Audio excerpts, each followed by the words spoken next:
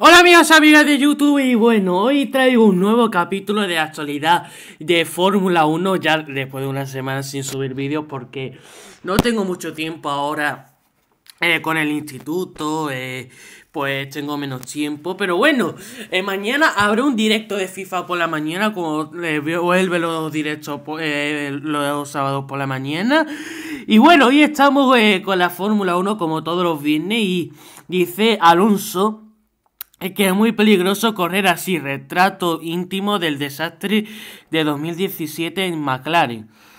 A ver, Amazon ha estrenado hoy la íntima y magnífica serie sobre McLaren, de cuatro capítulos, en la que se da un repaso a la crucial y desastrosa temporada de 2017 que supuso la ruptura del proyecto con Honda tras tres años de sinsabores.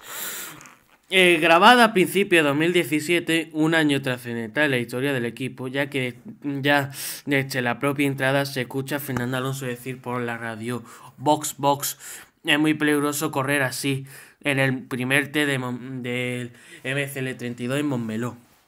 Hemos sobrepasado el límite de aceite en cuatro curvas.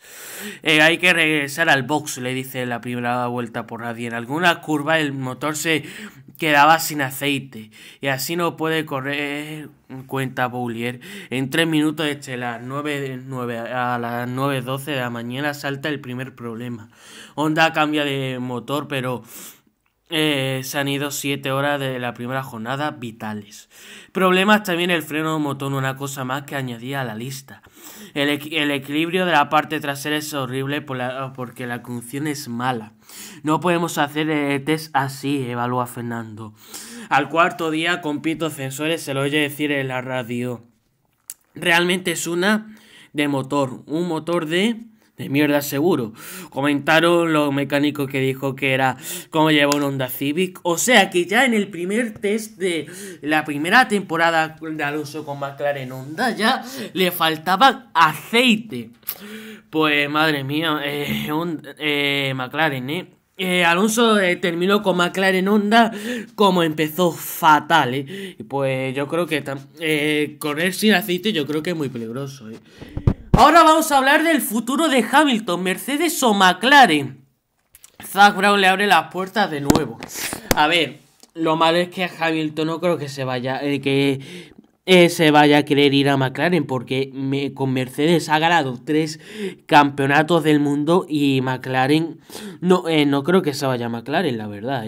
Yo si fuera él no me iría a McLaren porque si está muy bien con Mercedes y ha ganado tres campeonatos del mundo, pues mejor que se quede en Mercedes. Pero bueno, si se quiere ir a McLaren, a lo mejor su último año en, en, carrera o que tomar o que se quiere ir de Mercedes para volver a McLaren.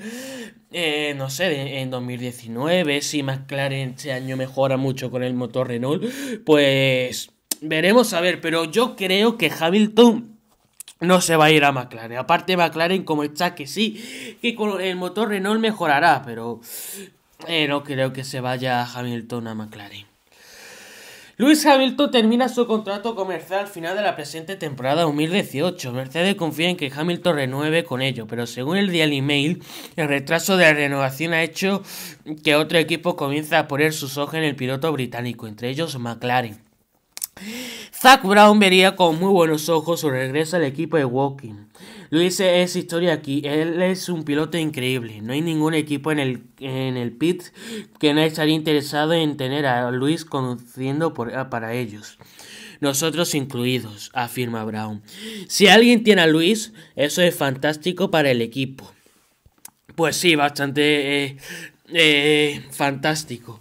Entre tanto, Toto Wall, director de Mercedes, se mostraba muy seguro el mes pasado de que Luis eh, continuará con ellos. Luis se ha convertido en un pilar tan importante dentro del equipo que es obvio que continuemos juntos. Las charlas son continuas y muy positivas.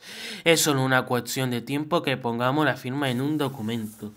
No sé, eh, Hamilton yo creo que le faltará para renovar, pero eh, renovará eh, algún momento, es seguro. A lo mejor cuando empiece la temporada o cuando pase unos grandes premios, pues ya. Yo creo que va a renovar Luis Hamilton.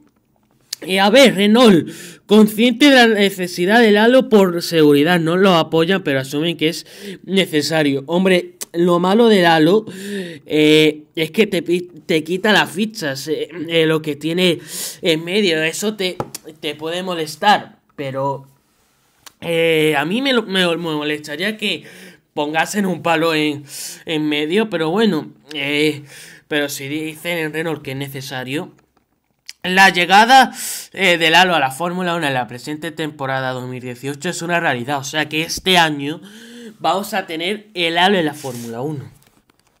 Muchos se han quejado de su implantación de esta nueva medida que parece gustar a muy pocos, pero lo cierto es que este año tocará adaptarse y convivir con esta nueva pieza impuesta por la normativa. La escudería Renault no apoyaba su implantación, pero asumen que tiene que acoplarse a lo que haya. Nos parece muy antiestético y muy pesado, pero ya hemos hablado de eso, indica Seria Bowl, director del equipo francés. No obstante, a pesar de no gustarle, asumen que es una medida de seguridad necesaria cara a los nuevos tiempos. La decisión ha sido tomada, es necesaria desde el punto de vista de la seguridad y las cosas deben evolucionar. Explica Cyril sabedor de que de cara a posible accidente es una medida que puede aumentar la seguridad del piloto y en definitiva esto es lo más, eso es lo más importante. Hombre, lo, lo único que yo tengo en contra del halo es que eso en medio que hay ahí, que me que te molesta, te puede molestar, te quita también un poco la ficha, pero bueno, si Liberty Media hace, lo hace bien por seguridad, pues eh, hace bien, pero bueno, lo del halo no sé si es bueno para la seguridad o no, pero si ellos lo dicen, pues que tienen más que yo, pero eh, si ellos lo dicen será bueno para la seguridad eh, el halo.